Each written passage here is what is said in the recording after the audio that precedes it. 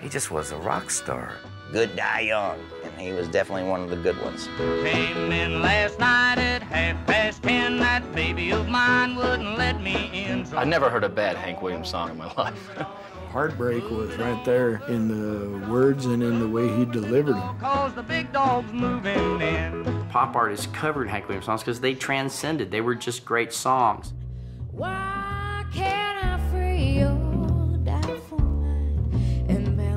your cold, cold heart?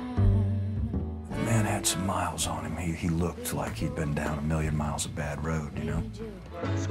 In 1947, aged 24, Hank began a career that would produce the greatest of all country songs.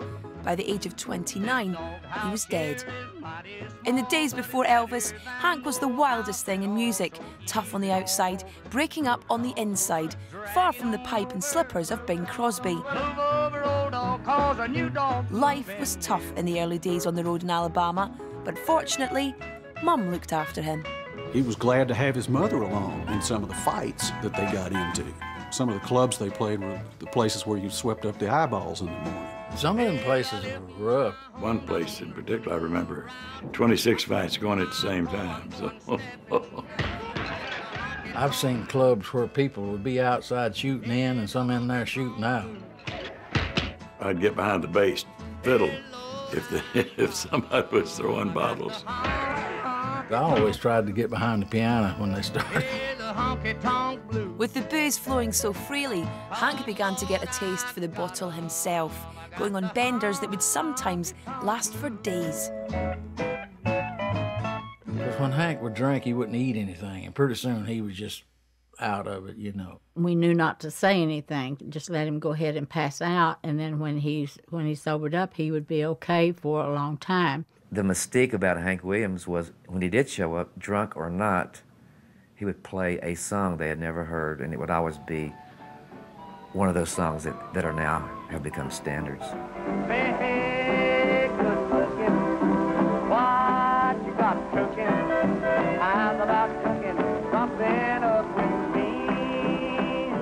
Believe me, when he stepped up on that stage, he just tore them up. Hank was the direct precursor of Elvis Presley. He was a white artist influenced by black music. It was kids that came out to see Hank. We'd get up there and play, and they'd gather around the bandstand and watch him. I never had seen that before. So if you want to have fun, come along with me. Say, hey, He just had the, the charisma, you might call it. When he walked out on the stage, everybody knew that there's Hank. In 1944, Hank married farm girl Audrey Mae Sheppard. He might have been happy playing honky tonks, but Audrey had other plans and set about making him a star. Audrey did a lot for Hank. She was that coach in that corner, kicking him. Come on, we gotta go. She was a hot firecracker too. Through careful networking, Audrey pushed Hank towards Nashville. The hits came at once, with Lovesick Blues staying on the country charts for most of 1949. I got a feeling all the blues, oh Lord. If you study it or watch films from that time, he was a pop superstar. Despite Hank's success, it wasn't all wine and roses for him and Audrey. Not all roses, anyway. I try so hard, my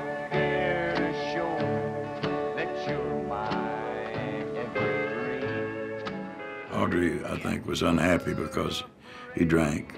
Somebody said, Did they fight like cats and dogs? And I said, No, cats and dogs don't cuss and throw rocks. Even though they fought and fussed and couldn't get along and shot guns at each other, they truly loved each other. He really loved that woman.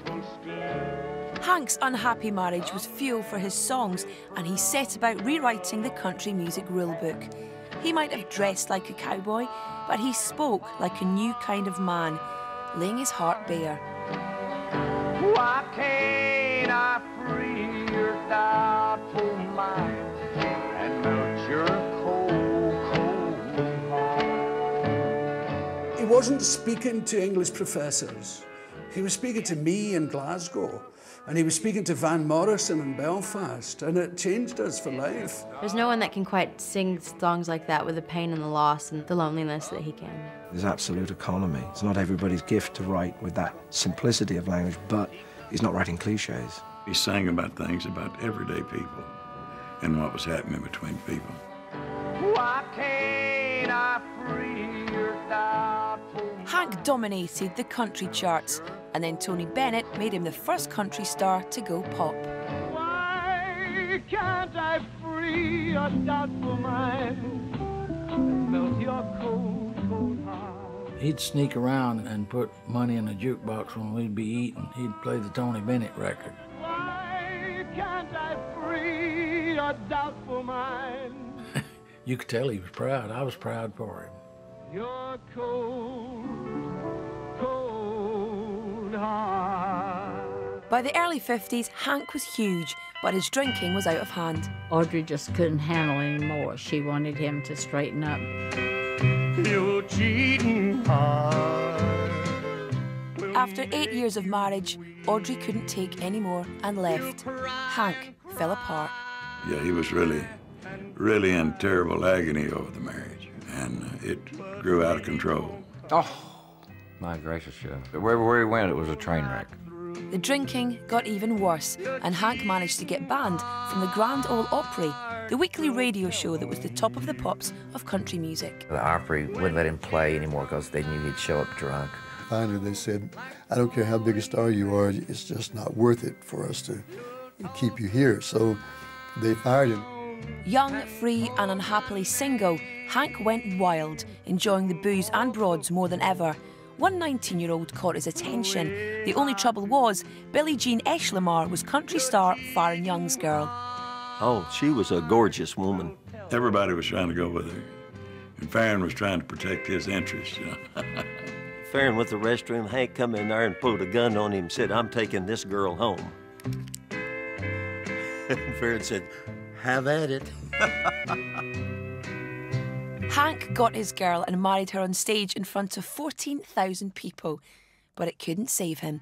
A fall two years earlier had re aggravated a bad back, resulting in Hank's addiction to painkillers.